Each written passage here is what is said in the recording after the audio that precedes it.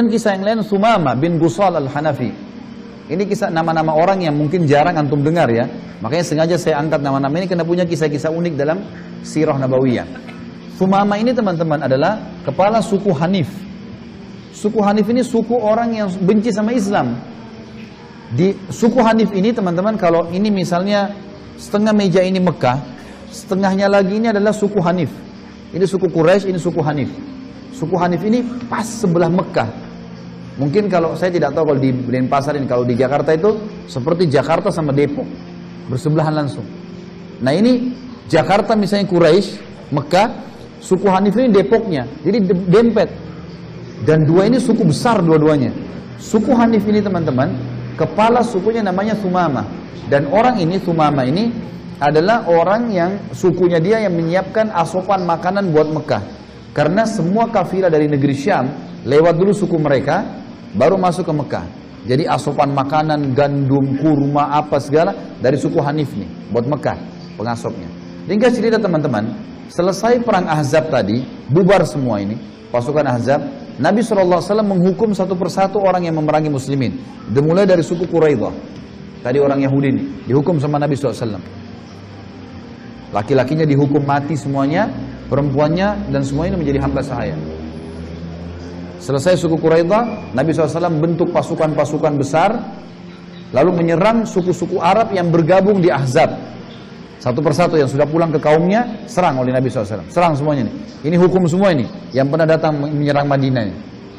Nah, salah satu pasukan yang Nabi pernah kirim, ada satu pasukan dipimpin oleh sahabat Nabi yang mulia. Waktu itu namanya uh, Muhammad bin Maslamah radhiyallahu anhu. Muhammad bin Maslamah ini teman-teman dia uh, membentuk pasukan tidak banyak orangnya, 30 orang untuk nyerang uh, apa namanya wilayah Najd. Ada satu suku Arab di sana namanya Bani Kirta yang menyerang Madinah juga. Maka waktu itu, waktu pulang dia serang ke sana 30 orang tapi kena tiba-tiba suku ini lari semua. Diambillah ghanimah-ghanimahnya, unta-untanya segala diambil sebagai hukuman. Waktu pulang, mereka temukan ada satu orang di tengah jalan lagi jalan sendirian. Muhammad bin Maslamah mengira orang ini dari suku Kirta tadi itu. Ditawan aja langsung, dibawa ke Madinah. Tiba di Madinah, mereka melapor, ya Rasulullah, udah selesai nih, kami sudah jalankan tugas kami, gitu kan. Maka uh, ini semuanya, ini harta rampasan perang, ini tawanannya. Nabi SAW keliling lihat tawanan-tawanan. Ternyata ada Sumamah. Ada satu orang di situ. Kan? Kata Nabi SAW kepada Muhammad bin Maslamah, apakah kalian tahu siapa orang yang kalian tawanin? Kata mereka, kami tidak kenal ya Rasulullah. Ini Sumama bin Gusal al-Hanafi. Ini kepala sukunya Hanafin. Ini tetangganya Mekah ini. Kalau kalian bisa berbuat baik padanya masuk Islam, kalian akan menang. Berbuat baik pada tawanan. Dan memang sunnah Nabi teman-teman, kita kalau nawan musuh, kita disuruh kasih makanan, kasih minuman, obati lukanya. Gak boleh kita gebuk-gebukin, gak boleh pukul-pukul tawanan, biar dia masuk Islam. Emang sudah begitu dalam Islam. Tidak boleh kita mukul tawanan. Sampai dijanjikan pahala yang besar bagi orang yang memberikan makan orang-orang tawanan. Para tawanan-tawanan Madinah dulu, tawanan-tawanan Nabi itu mengatakan demi Allah, kalau kami lagi ditawan walaupun kami diikat, para sahabat Muhammad memasukkan roti ke mulut kami. Dan kalau roti itu jatuh, mereka segera menangkapnya sebelum tersentuh dengan tanah dan memasukkan kembali ke mulut kami. Jadi saking baiknya sahabat. Dan banyak orang masuk Islam gara-gara itu. Kebaikan dengan tawanan. Tidak ada Nabi pernah suruh pukul, cambuk, nggak pernah. Selalu Nabi suruh berbuat baik dan banyak masuk Islam gara-gara. Ini cerita kata Nabi SAW, layani dengan baik tawanan, terutama si Sumama ini, karena ini kepala suku ini, baikin hubungan dengannya. Sumama diikat di tiang, pas diikat pintu masjid. Pintu masjid. Jadi Sumama ini lihat, kalau Nabi SAW datang, imami sholat, dia dengar ayat dalam bahasa Arab. Setelah tiga hari, Nabi datang mengatakan, Hai Sumama, bagaimana pendapatmu? Mau masuk Islam? Atau kamu tetap mau dengan keyakinanmu? Atau ada pendapatmu yang lain? Kata Sumama, wahai Muhammad, bila engkau membunuh, aku kau bunuh, maka engkau membunuh seseorang yang memiliki banyak darah yang siap berkorban untuknya. Maksudnya sukuku ini akan serang Madinah. Perang-perangan nih pasti, kalau kau bunuh aku. Bila engkau memaafkan, engkau memaafkan seseorang yang sangat tahu bagaimana berterima kasih. Aku tahu bagaimana membalasmu. Kepala suku dia. Dia tahu kalau kita raja lah ya. Saya tahu bagaimana balas kamu. Bila engkau menginginkan harta, sebut saja apa saja yang kau mau pasti aku engkau akan dapatkan. Nabi SAW tinggalkan, nggak aja ngomong, sholat.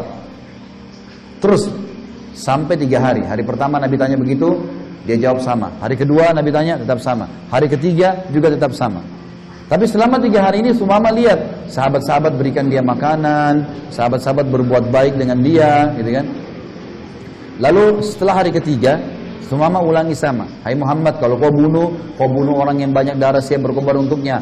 Kalau kau memaafkan, kau memaafkan orang yang tahu berterima kasih. Kalau kau bintingin harta, sebutkan saja saya akan kasih.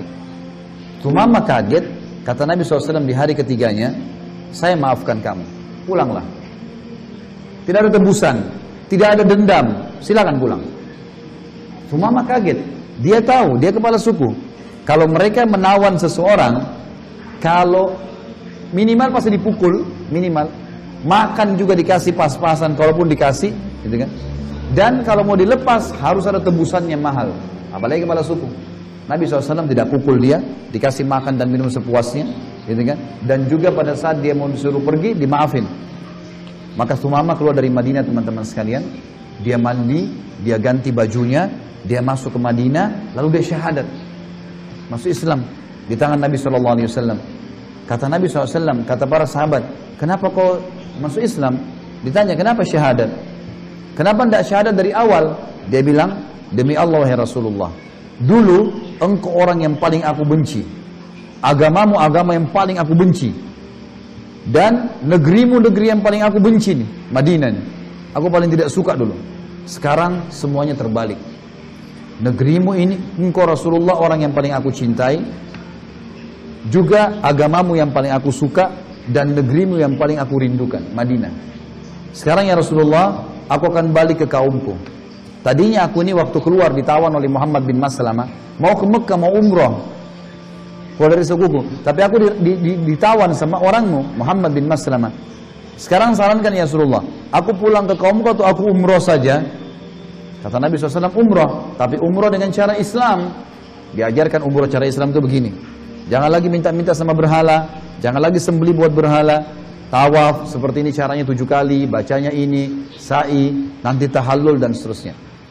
Maka Musama mengatakan baiklah ya Rasulullah. Pergilah Sumama ke Mekah. Setelah belajar beberapa hukum Islam. Begitu masuk di Mekah, orang-orang Mekah menyambut Sumama. Orang Mekah tahu ini kepala suku Hanif. Disambutlah. Tawaf bersama-sama dengan dia. Dia lagi tawaf, tawaf.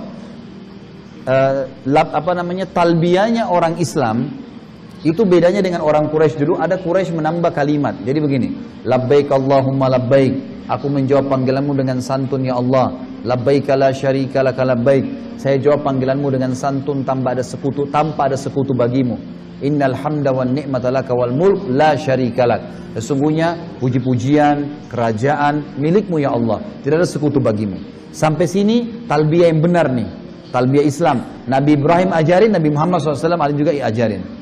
Orang-orang Quraisy menambah kalimat syirik.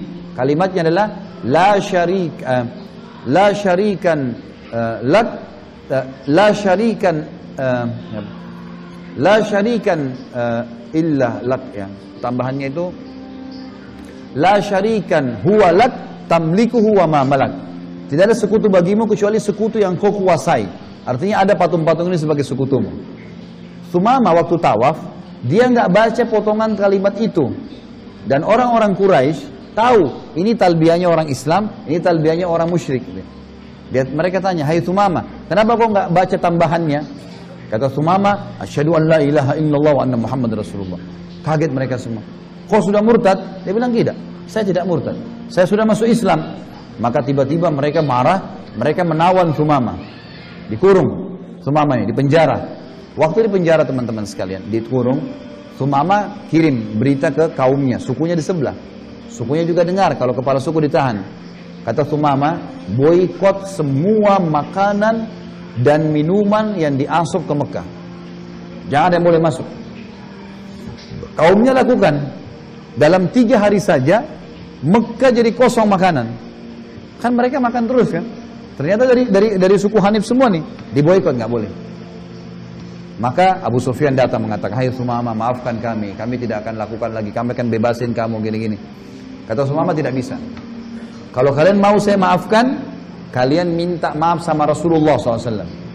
Suruh minta maaf sama Nabi di Madinah. Tadinya ini orang-orang Quraisy kan habis serang Madinah suku Ahzab, perang Ahzab ya. Perang Ahzab ini kan memalukan kaum muslimin karena diserang Madinah tapi mereka tidak berhasil. Sekarang Sumama masuk Islam dengan hikmah Allah, dengan taubat dari kekafiran kepada Islam, dia langsung membalik keadaan. Dia bilang, saya tidak akan memberikan asopan makanan pada kalian, kecuali Rasulullah maafin. Ke Madinah minta maaf sana. Jauh Madinah nih, 400 kilo. Tiga hari, tiga malam. Kalau enggak, nggak bisa makan. Akhirnya, teman-teman sekalian, Quraisy musyawarah yang diutus Abu Sufyan. Kepala sukunya mereka. Berangkat ke Madinah. Ketemu dengan Nabi SAW. Hai Muhammad, maafkan kami, ini silaturahim, kami diboikot, gak bisa makan, apalah, mohon maaf gitu. Kata Nabi SAW, baiklah, diutus surat, Hai Sumama maafkan. Sumama pun akhirnya memberikan mereka makan gara-gara maafnya Nabi SAW. Tersebar satu jazirah Arab, kalau muslimin mengalahkan Quraisy. Makanannya Quraisy sekarang dari orang Islam. Kalau Nabi SAW bilang tahan, tahan, gak bisa makan nih, mati kelaparan semua. Tapi perannya siapa? Sumama. Orang yang tadinya jahat sama Islam, sekarang taubat. Lihat bagaimana perilaku mereka. Turunnya jahat, bertaubat, jadi orang baik, bahkan membela kebenaran. Kan? Masih ingat tadi kalau teman-teman yang hadir kisah Umar bin Khattab, benci Islam luar biasa, masuk Islam jadi pejuang yang luar biasa. Memerangi